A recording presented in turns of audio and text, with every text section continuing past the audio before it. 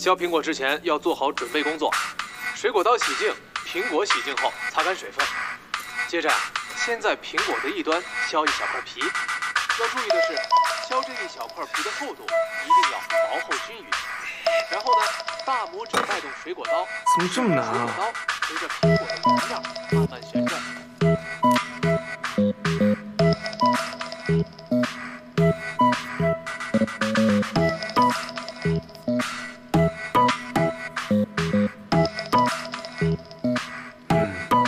是这样可爱。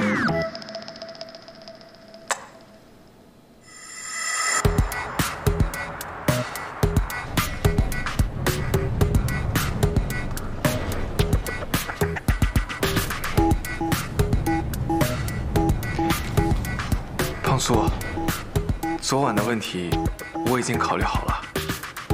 当我们再见面的时候，我们就重新开始吧。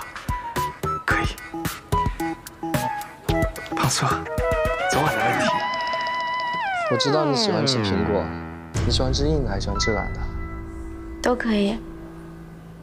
其实我早就知道你是黄油酥了。什么黄油酥、白油酥的？你现在最重要的就是赶紧好起来，其他什么都不重要。谢谢你这些天对我的照顾。那么客气干嘛？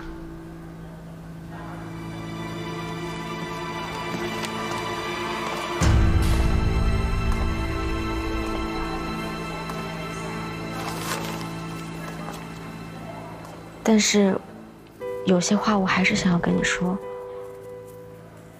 作为一个普通朋友，我没有资格也没有立场白白接受你对我的帮助。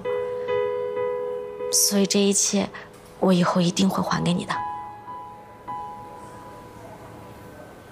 好了，先不提这些了，吃苹果。谢谢。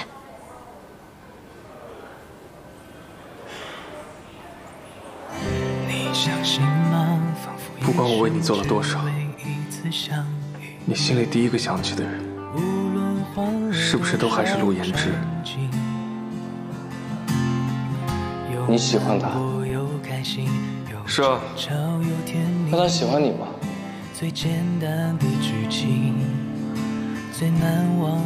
当然。